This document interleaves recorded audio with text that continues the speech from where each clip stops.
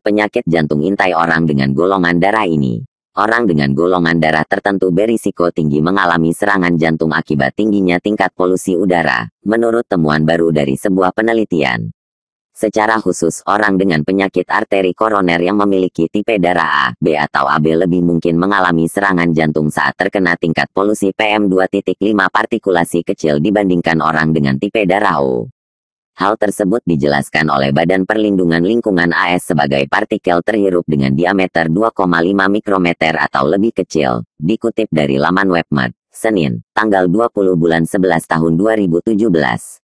Kebanyakan orang tidak akan terkena serangan jantung kecuali mereka memiliki penyakit arteri koroner, kata periset tersebut dalam sebuah rilis berita dari Intermountain Medical Center Heart Institute di Salt Lake City.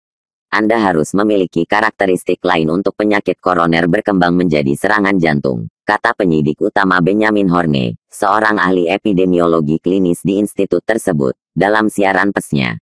Hubungan antara serangan jantung dan polusi pada pasien dengan golongan darah non-O bukanlah sesuatu yang harus dicemaskan, tapi ini adalah sesuatu yang harus diperhatikan, tambahnya. Penelitian ini akan dipresentasikan pada pertemuan tahunan American Heart Association di Anaheim, California. Saksikan juga video berikut ini.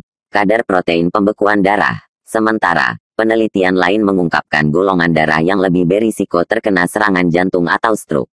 Penelitian tersebut dipresentasikan di Kongres European Society of Cardiology di Paris setelah mengamati 1,3 juta orang.